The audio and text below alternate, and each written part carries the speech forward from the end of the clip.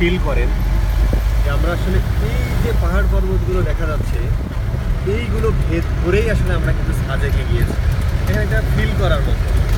এবং ইন্টারেস্টিং হলো সাজেকের সাজেকের এই সাজেক যে সত্তর কিলোমিটার খাগড়াছড়ি টু সাজেক, সাজেকের এই যাওয়ার পথে যে আমরা পাহাড়ি যে বাড়িগুলো দেখি, এটা কিন্তু দেখেন এই সাজেকের এত সুন্দর বীজধারা রোড যখন হয়নি তখনও কিন্তু এই বাড়িগুলো ছিল। এটা আমি বলব যে যখন সেনা সেনাবাহিনী এই এই রোডটা করে তখন আসলে আমি বলব যে আমার মনে হয় হতেও পারে আমি জানি না এটা সঠিক তথ্য কিনা হয়তো এদেরকে দেখে দেখে এভাবে আর কি রোডটা নিয়ে আসছে তারা আবিষ্কার করছে।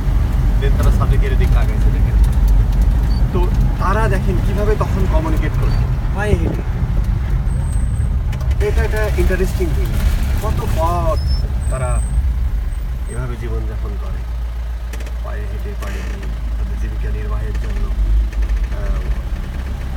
জুম চাষ করে, এখানে কলা, নারকেল, পেঁপে, এখানকার পেঁপে তো অত্যন্ত মানে এত সুস্বাদু, এত টেস্টি যে আর সব থেকে এখানে মানে আমার মনে হয় এই জায়গাগুলো আসলে আসলে ফিল হবে। আমি বলব সাজেক।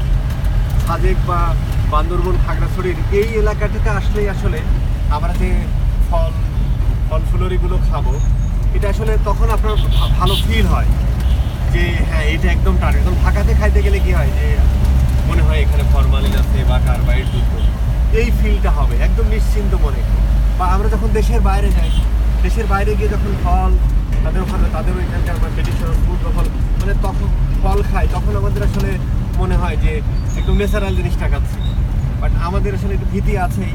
বাংলাদেশে আসলে আমাদের এই এই জিনিসটা এখনও আমরা মেনটেন করে বা ম্যানেজ করে উঠতে পারিনি। খাদ্যে ফরমালিন বা খাদ্যে ভেজাল।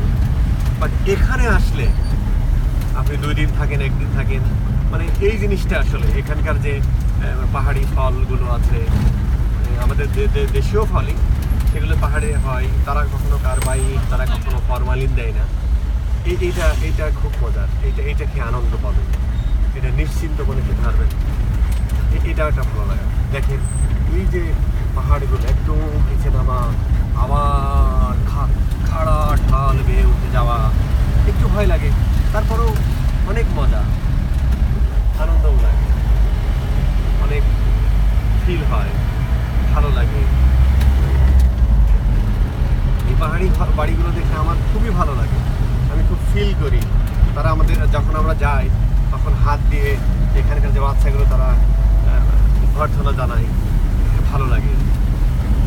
এই বিষয়গুলো ফিলগুলো দেখেন, এই পাহাড়গুলো, এখন আমরা সাজেক থেকে যাওয়ার পথে, এই পাহাড়গুলো ভেদ করেই আসলে কিন্তু আমরা আসলাম।